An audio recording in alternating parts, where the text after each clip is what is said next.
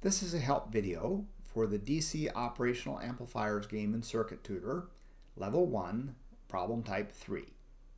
So we'll go ahead and enter that game. And of course, as always, we recommend that you watch the, uh, or do the introductory tutorial um, available on the website.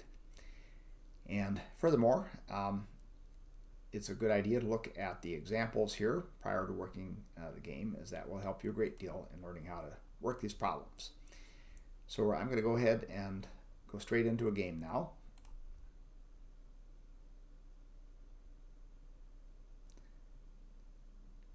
Okay, so here's our circuit, and we have some instructions that tell us generally what to do, um, which is always accessible uh, from the help button here.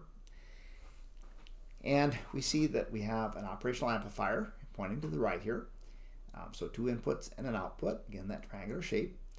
And notice that um, this is an interesting configuration where it has feedback directly from the output back to the negative input. That's what's called a, a unity gain amplifier, and the input is being applied to the positive voltage. So remember that an operational amplifier internally, um, it basically has a large, in fact, virtually infinite uh, impedance between the two input terminals, so they're essentially open circuits. Um, but then that voltage difference controls a voltage controlled voltage source inside the op amp um, whose output is connected to the output here and the other end basically being referenced to ground via the uh, positive and negative power supplies on the op amp which are not shown here. So this is a, a very simple circuit um, and I'm going to go through a formal solution of this, although we could really um, determine the value by inspection here, as I'll discuss later. So first of all, we have a voltage source, and again, we're going to do nodal analysis, as is usually the case with op-amp circuits, because mesh analysis is generally not practical. It may be actually a non-planar circuit, and some of the circuitry is hidden inside the op-amp, so we really can't do a mesh analysis here. So I'm going to do nodal analysis. The ground is already pre-selected because the ground here is also the ground connection to the op amp and we'd be changing the circuit basically if we just selected a different node as the reference node. So in this case we don't select that but instead we're just going to enter equations. So first we'll select a voltage constraint equation as in any DC nodal analysis um, because we have a voltage source that requires a voltage constraint equation which is going to constrain the voltage of really the difference between the uh, nodes connected to it, which is the ground node and node 2. So we have 0 minus V2 is going to be equal to the value of that source, 1 volt. So an easier way of writing that is just to say that V2 itself is equal to a fixed voltage. So we'll write, put in the subscript there, uh, V2. And then that value is going to be just uh, negative 1 volts because of the way it's connected, and also just because 0 minus V2 equals uh, 1, and that's equivalent to writing it this way. So we'll go ahead and check that equation. That is correct. And now, again, the special type of equation we have for op amps is that due to this negative feedback, um, it keeps the, as long as we're not in saturation, which is, uh, means we just don't have too large of an input voltage here, um, it means that the voltage difference between these two input terminals is held at almost zero because of the extremely large gain uh, inside the op amp. And because of the feedback mechanism that basically forces these two things to have the same voltage, even though they're not actually connected. So we can think of it as sort of a virtual short, but a very unusual one in that it doesn't carry any current. So we need to therefore write what's called an op-amp input constraint equation, which is unique to op-amp circuits. And that basically says that V plus minus V minus is zero. Um, and so those are two different node voltages. So I could write it using this term, or I could maybe just use this one twice and say uh, another way of writing it would be to write it with two separate terms, which is really equivalent to using this term equals zero. But let's say that we take V2 equal to V1, which is the same as writing that V2 minus V1 is zero, or for that matter, V1 minus V2 is zero. We can write it however we want. So we'll check that, and that is correct. And then um, we don't need to do any KCL equations. In fact, we cannot write any KCL equations in this case, um, simply because um, this node is connected to a voltage source whose current we do not know a priori. In fact, that's one of our uh, sought variables.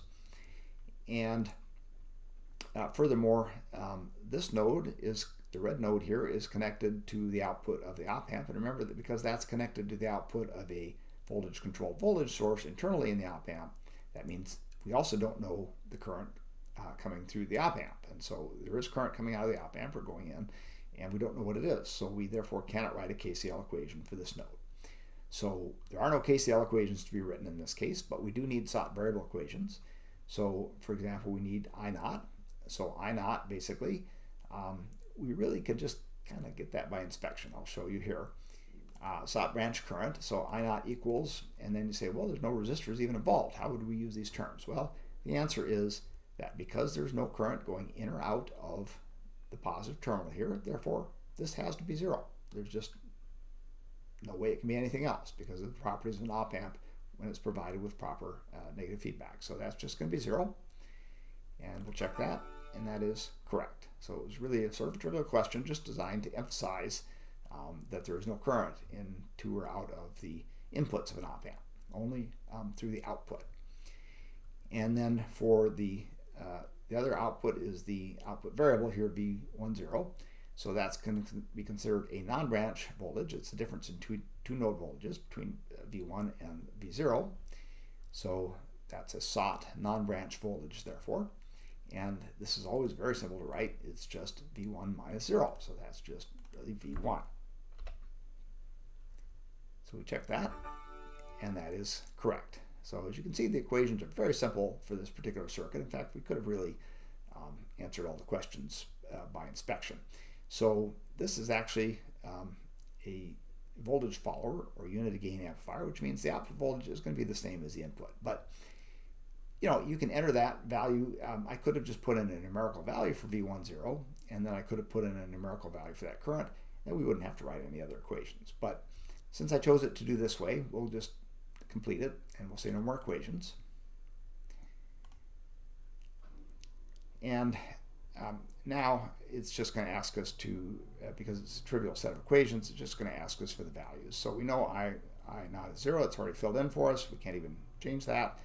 V1 0 is just V1, and V1 is the same as V2. V2 is negative 1, so it's just going to be negative 1. The input equals the output. That's the whole point of this circuit, really um, even though you can draw it in different ways, but it's, it's always the same thing.